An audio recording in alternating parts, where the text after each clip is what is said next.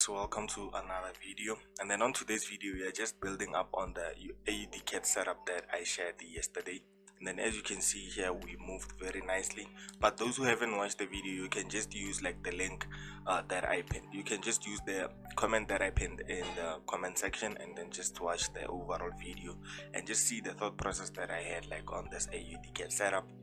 And then uh, some of you like don't like my video some of you don't watch up until the end just because you'll get that people have watched my video like maybe 500 times or 500 people watch the video but you'll get that i have like 15 likes or 10 likes from that video. So do like guys do like do like do like. But that's if you like that's if you like the video.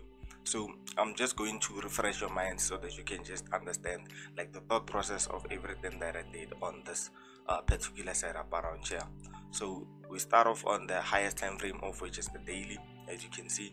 And then those uh, notations here are just illustrations that I must not forget. The top of the structure there is an entry and then don't forget the mass psychology around this highest point here for us to get like those selling opportunities. And then um, as you can see here like i said like yesterday that this area here is a value area just because we don't need to do anything for us the market does not need to do anything for us to get like those um, opportunities like in the market. So i was looking at this area here for us to sell. Even if i lose like 1% or 0.5 percent around here when the market gets here i'll be looking for another entry whereby it will bank, bank me like more than 5 percent of which i'm cutting out like the losses that i had. Maybe i'm left with 5 percent or 4 percent. So i don't need to be afraid for me to like to take an entry around here. I just have to be neutral and then focus like on my edge each and every time. When i see my edge i execute guys. Simple as that. And then as i said uh, the mentorship is still 500 of which it will end on monday. So if you're still interested in having like good education like this you can just contact me. My contacts are in the uh, description below. So on the four hour chart let's look at the four hour like i said on the four hour chart i look for momentum most of the time. And then as you can see the momentum was very corrective and then i can just do this and just show you guys uh, let me just do this and just show you from here to here. And then as you can see here this is a corrective move but we had like an impulsive a last candle that was impulsive of which it was this one. And then that was the reason i said we can look for a retracement candle for us to get like a more confirmed entry. I removed like a few things here on the setup. I removed a few things on the setup. And then moving to the hour chart i removed like a few notations on the setup. So you don't get to understand just because i had like a notation whereby this is a low risk entry i should just wait for this kind of setup. So yesterday i said like we are looking for an evening star whereby this candle will be superseded by a red candle whereby we look for an entry just below here. And then we did that. As you can see we are still moving nicely in profits. So the problem that i had here was the scaling entry whereby i was already asleep around this point yeah i was already asleep around this point. And then i think we had news yesterday. And then i think it's aud news or something at 2 at 2:30 south african time.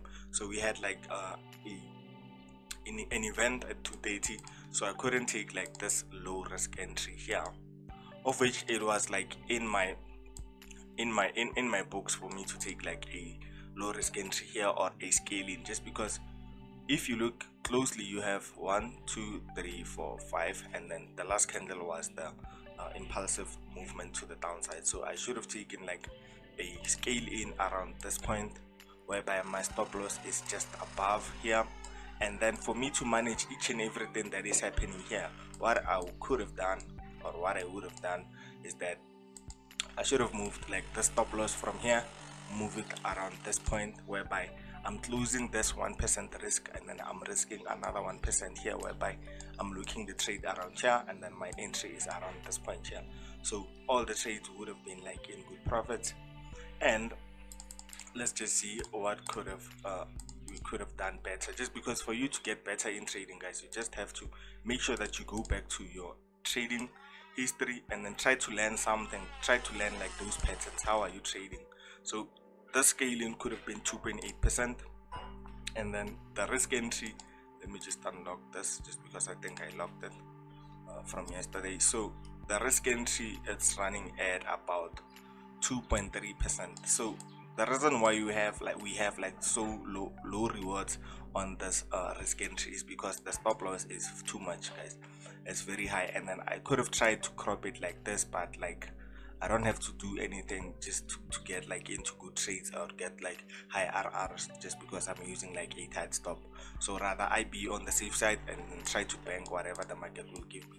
Just because the overall move as you can see here from the bottom from the top of the structure to the bottom it's very nice 4.6% is a good uh, setup and then on the scale in this is where I could have banked a lot just because this is about 7% to the downside so now looking at the current situation what I'm about to do is very simple. As you can see here we currently broke structure and I think we are still like in the green zone. And then even if we are in the amber zone I'll get like a confirmation whereby we get like some type of a larger flag and then we get into the scale in around this point whereby we can get like uh, high rewards like on the scale in just because it's a larger flag whereby you can just use like tight stops uh, like about a 20 pip stop would be okay and then your first target would be um, 2% for example and then your overall target would be at around 6% so still guys there is no need for you to be like first on any trade for you. There's no need for you to catch like top of the structures like this but that's how I like to trade like uh, each and everything. I risk 1% I get another scaling I close the 1% that I took firstly and then I use another 1% around this point and then I let the market flow with me. And I can hold this kind of setup for me weeks or days guys depending on how the setup is good depending on the, the potential of the setup. So yeah guys uh, that is it for uh, AUD setup and then yeah I want to tell you guys that uh, you should just watch my videos up until the end so that you can just understand everything that I'm doing here. And then if you're new to trading don't give up guys. Uh, these things don't come easy. These things come from hard work. For you to just analyze a pattern or a pair like this and then just share it with uh, thousands of people is it takes courage and then it takes a lot of education. So i'm willing to give you like that education but then again uh, you just have to work hard you just have to make test each and every time.